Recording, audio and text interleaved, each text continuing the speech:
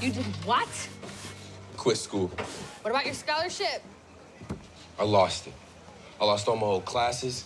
I was lucky if I even passed the grade. My transcript is ass. Everything I had going for me, gone. And do you know why I'm screwed? Because I tried to do the right thing. I tried to help John B with his treasure. I tried to get my family's inheritance back. And do you know what I got for it? Kicked in the dirt. It's over. I'm done. Pope, it's not like you can just give up like that. Yo, bombshell. What's going on? What happened? Detecting a real heavy vibe. What's going on? Pope's quitting school.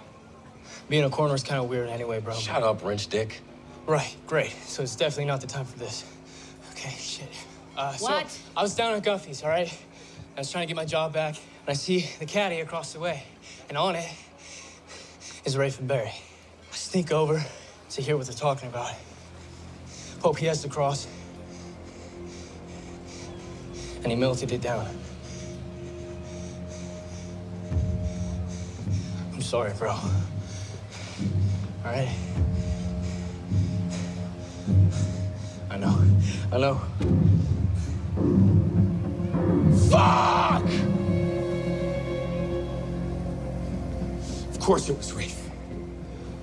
Yeah, I mean, we probably could have guessed that. Across the Santo Domingo. Desecrate. For money? God! I know. So, I think we need to stay calm to make a plan. But we gotta stay. Getting better at that.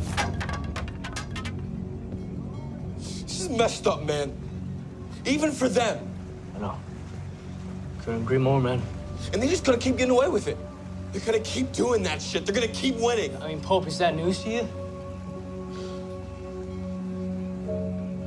No. But I'm sick of being the good guy. Pope. Pope, where are you going?